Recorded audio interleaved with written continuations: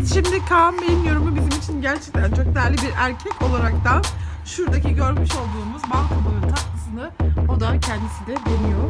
Evet Kaan Bey önce bir deneyin isterseniz sonra bir yorum alalım sizden.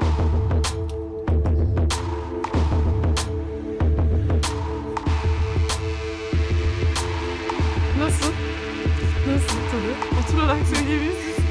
Yemin ederim e, tatlıdan aldı, ayağa kalkıyor, oturuyor, kalkıyor, oturuyor, kalkıyor. Çocuk da ne yapacağını şaşırdı Kaan Bey. Bal kabağı, bal kabağının tadı var ama suyu zaten şerbet gibi hiç olmamış.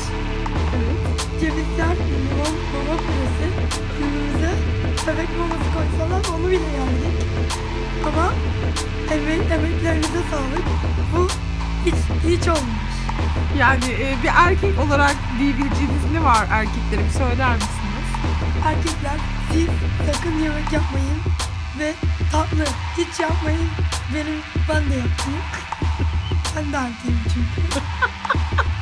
Teşekkür ediyoruz. Afiyet olsun diyoruz. Bu diliyorum.